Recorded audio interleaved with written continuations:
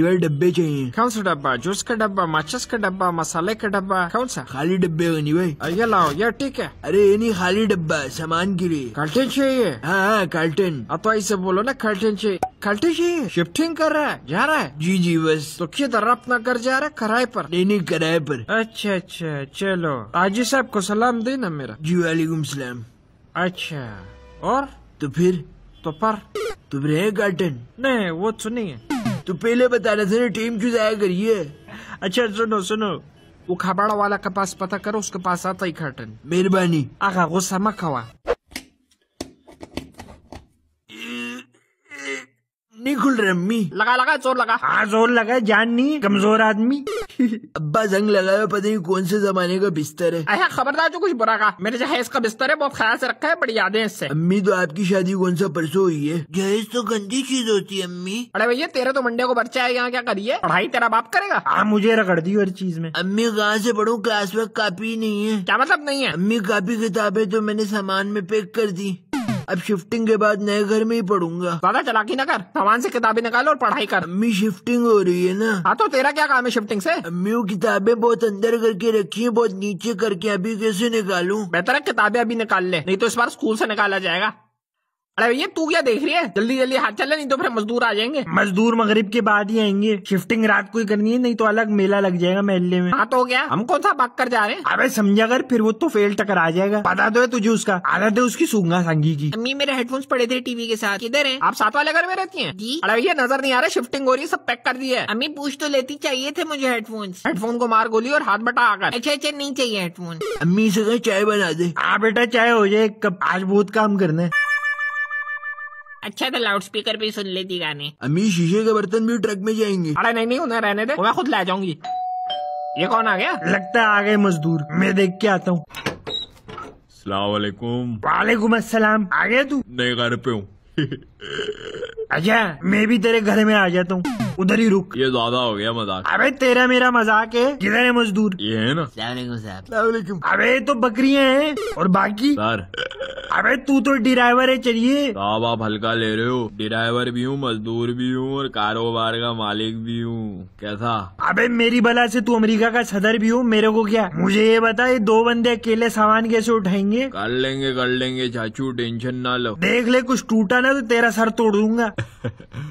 Uncle तो बड़े जंजाली हैं नहीं? सही बात है। दबीर जा अंदर बता दे ट्रक आगे। ऐसा करे बड़ा सामान पहले देख ले उसी हिसाब से रखियो। जी साहब। ये वॉशिंग मशीन ये टेबल सोफे कुर्सी। बस ठीक है ठीक है अंकल हो जाएगा। अबे अंकल किसको बोल रही है? आपके बेटे को।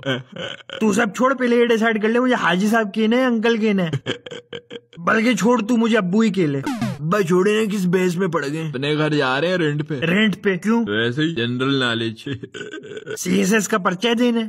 नहीं। अबे तो अब शुरू हो जाना देख क्या रही है। काम शुरू कर।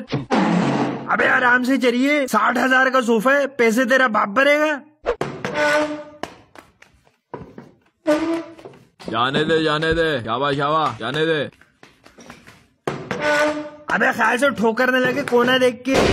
अबे देख के भाई। टेढ़ा कर टेढ़ा कर हाँ शाबा। ले आ, ले आ, ले ले आ, आने दे आने दे आने दे आने दे। दबीर पीछे हो जा तू छोड़ दे नीचे आ जाएगा साइड में हो जा। आने दे आने दे आए, आए, आए, आने दे आने आने दे आए। अबे क्या नारे मारी है? चुप करके काम कर।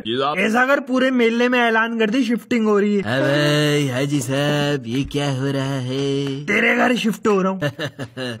आपका मज़ा भी ना हाजी साहब याद आएगा बड़ा। लेकिन ये अचानक शिफ्टिंग खैरियत तो है? अपना मकान बना लिए जा रहे हैं कचरागुंडी छोड़ के इसमें तू ही रहे राजू आपने तो कहा था रेंट पे अरे तू काम कर अपना ज़्यादा शाना ना बन अम्मी डिनर सेट का डब्बा रखा था लाउंज में वो भी ट्रक में जाएगा अरे नहीं वो तो मैंने अलग किया था वो खुद ले जाने वाला सामान था लाउंज में तो नहीं पड़ा वो डब्बा अरे जल्दी तबीर को रोके नहीं तो टूट जाएगा लगता है टूट गया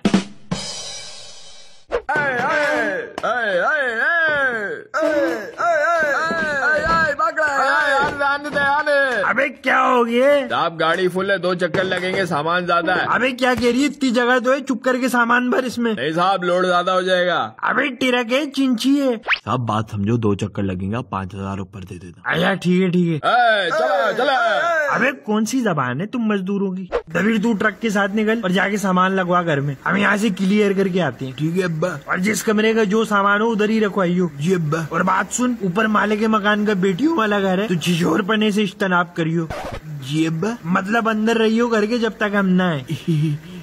जी अब्बा हाजी साहब दो चक्कर थे ना? हाँ तो? पाँच हज़ार कम है। अबे पंद्रह हज़ार के बर्तन तोड़ के बैठे और पाँच हज़ार को रो रही है। हाजी साहब वो तो छोटा सा हादसा हो गया बर्तन तो। अबे हादसा तो तू है। वो तो भंड हुआ है और चपत मुझे लगी है। चाचा मेरे पैसे दे। अबे ओ बेवड़े आराम से। अबे उंगली नीचे रख नहीं तो कटवा बैठेगा। अबे भाई ऐसे कैसे? क्या मतलब? पैसे दो मेरे भाई। आ नहीं देता जो उखाड़ने उखाड़ ले। आप लोग जानते नहीं हो मुझे। अबे तू भी हमें नहीं ये जानता। क्या शोर हो रहा है? अबे तू चुप कर जा फ्रेंडली फायर में मारा जाएगा।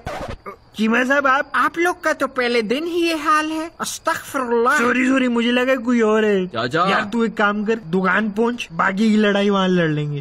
हाजी साहब शरीफ फैमिली रहती है यहाँ पर। ये आप लोग क्या कर रहे हैं? सॉरी सॉरी आप आप अंदर चले मैं भी आ रहा हूँ बस। चौधरी साहब। सलामकुम हाजी साहब की हाल है? नाराज़ तो नहीं हो हाले तक? अबे मैं तेरी बीवी लगता हूँ जो नाराज़ होके बैठूँगा। मुझे और काम नहीं है क्या? नहीं हाजी साहब उस दिन मैं की थोड़ी जी लूज टाक हो गई सी ना तो मैनू तो बहुत सोच होया। सोचा काल कर लवा माजरत वास्ते उस दिन सोचना था ना ऊँची आवाज़ में बात करते वक्त। हाजी साहब मैं किहड़ी उच्ची आवाज़ च गल की है।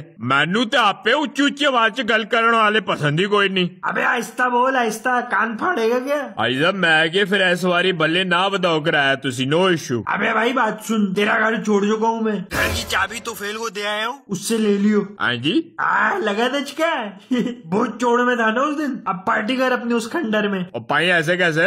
और कार तो जायजा होगा तोड़ फोड़ तो जुर्माना होएगा। आ लेता रहे अपने घर का जायजा। बस मुझे कॉल ना करियो। और ये गल तो सुनो। अल्लाह हाफिज। क्या पूरी दुनिया से लड़ता फिर रहा है? छोड़ मिस करा कैसा करे पिछले खंडर से तो बहुत बड़ा है। वो भी इतना बुरा नहीं था खैर। अबे रहने दे पानी तक तो आता नहीं था वहाँ पे। अबू बाथरूम में पानी ही नहीं आ रहा? अबू किचन में भी पानी नहीं आ रहा। अब्बा शोरूम का दरवाज़ा खुद ब खुद हिल रहा है। ले भाई आसमान से गिरा भूत बंगले में अटका। चली सी बाने तेरी बंगले में रहने की ख्वाहिश तो पूरी